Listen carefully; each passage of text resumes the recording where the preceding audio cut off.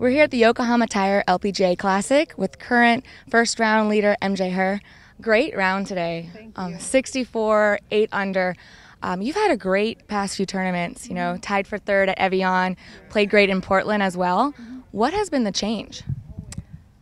Uh, I don't know. I feel so much comfortable after I finished the top 10 in Portland, and my I think my confidence get back, and it made me feel better and better. Also, my putting doing really great uh, these three weeks, so that makes me had a eight under par today.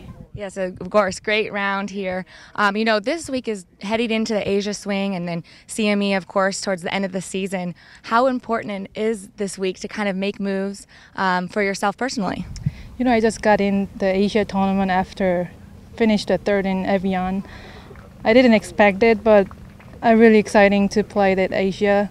So I, I want to play.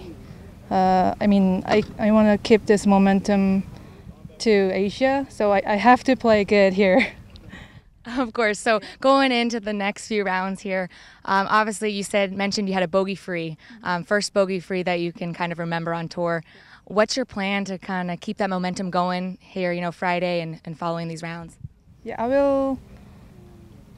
My goal, I will set my goal for bogey free for a whole week. So, I hopefully I can make it. Great. Well, thank you so much and good luck this week. Thank you.